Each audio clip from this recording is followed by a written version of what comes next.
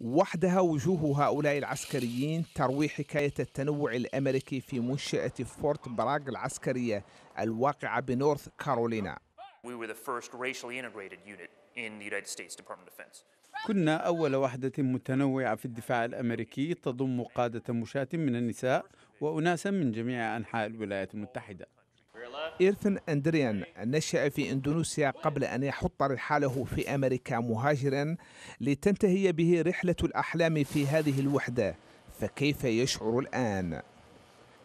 عندما جئت رحبوا بي ولم يتعاملوا معي بشكل مختلف أما سيلين الأمريكية المولد فقد تجاوزت صدمة من نوع آخر قدمت من مدينة صغيرة في كاليفورنيا وهي ريتش جروف حيث أن 99% من السكان من أصل أسباني كان صدمة ثقافية. لا حواجز ثقافية أو عرقية في هذه المنشأة التي تضم عسكريين من أصل أكثر من 120 جنسية.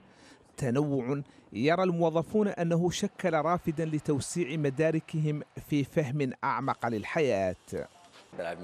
لقد التقيت أناسا رائعين جدا وأسهموا في إثراء تجربتي وفهمي للحياة وصنعت منهم أصدقاء دائمين.